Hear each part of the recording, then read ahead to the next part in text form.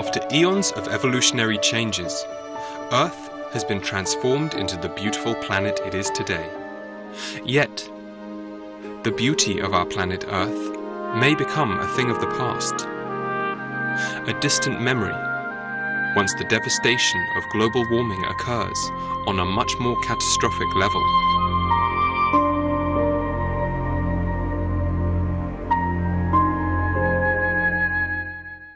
According to former US President Bill Clinton, climate change is the only thing that I believe has the power to fundamentally end the march of civilization as we know it. Ice sheets in the Arctic, Antarctic, and Greenland are melting too rapidly. The resulting rising sea levels are beyond scientists' projections. It is heartbreaking to see the penguins, the polar bears, and seals gradually losing their habitats. What will happen to them now? Will they become extinct and only live on in history books like the mammoths and dinosaurs of the past? Another alarming situation of similar magnitude that has developed as a result of the rising sea levels is the climate refugees crisis. Islands have been submerged, and more than 200 others are in danger of being submerged into the ocean.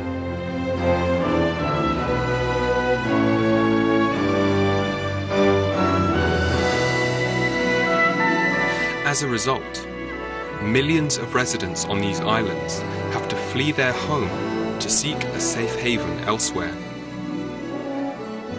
Life becomes more and more desolate as the shortage of food, water, and the lack of housing is the heart wrenching outlook.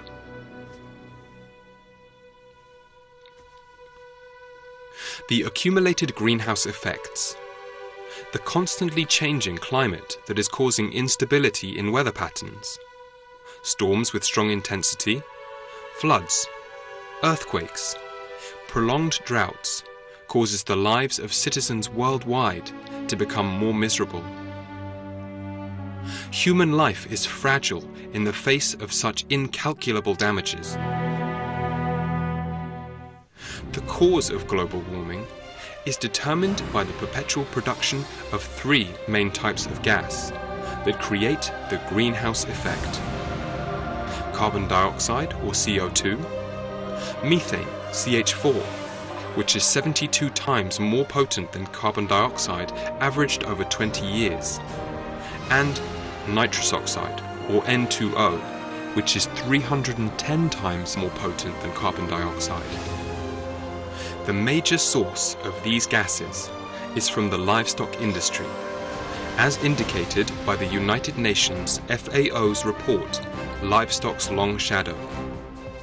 About 36% of the methane dissolved in the atmosphere is primarily produced by the digestive process of ruminant animals, and 64% from their urine, which contributes significantly to the development of acid rain. Livestock farming creates 65% of nitrous oxide related to human activities, the majority of which comes from chemical fertilizers. Aside from the huge amount of greenhouse gases released, the livestock industry has also detrimentally impacted topsoil and water resources in many parts of the world.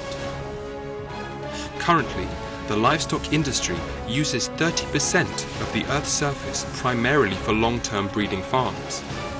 But it also accounts for another 33% of globally cultivated land used for producing animal feed. Vast tracts of forest have been destroyed to create grazing pastures for farm animals. For example, 70% of the forests in Latin America, such as the Amazon rainforest, have been turned into grazing pastures. Meanwhile, cattle herds trigger large-scale topsoil degradation. Approximately 20% of grazing pastures are degraded through extreme cattle herding where the topsoil has hardened and eroded. This figure is even higher in dry regions where permanent desertification has occurred.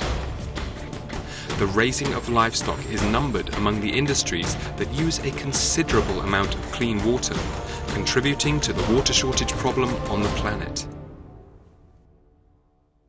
70% of the water resource is used for animal feed production. Other aspects of factory farming also cause water pollution, dead zones, and coral reef degradation. The major sources of pollution are from the runoffs of animal waste, chemical fertilizers, antibiotics and hormones, chemicals from tanneries, and pesticides used for feed crops. Surely, we all dream of a better future for our planet. But what should we do to make that dream a reality? That is the responsibility of each and every one of us as we are confronted with the ever increasing threat of global warming. Be veg, plant trees, and go green. These are the three main solutions to saving the planet. It is now critical for our planet to have a viable solution for a clean, sustainable source, which is provided to us in abundance by Mother Nature. Wind power, wave power, solar energy.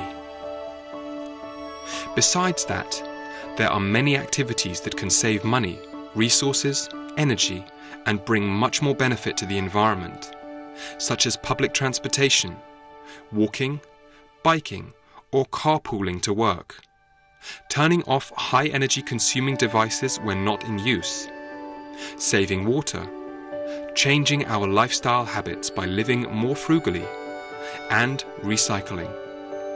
Our carbon footprint will be very light when we adopt these eco friendly practices. The second effective solution to global warming is to plant trees. Trees have an important role in regulating the atmosphere, preserving water resources, absorbing carbon dioxide, and limiting soil erosion.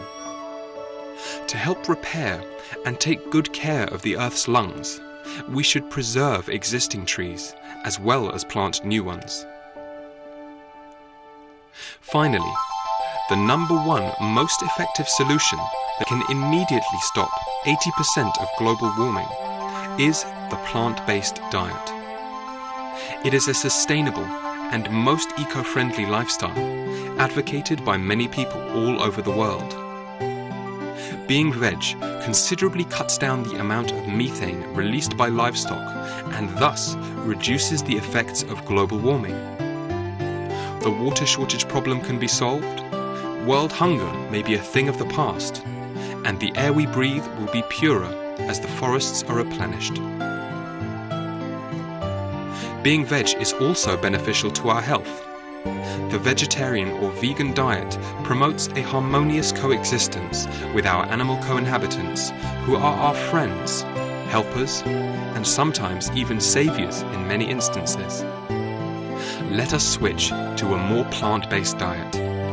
Even better if it's organic vegan, because it's healthy, it's economic, it's ecological, it's compassionate, it's peaceful, it's noble.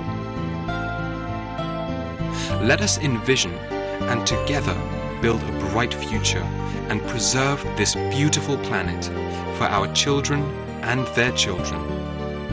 Let us treasure and save our only home before it's too late.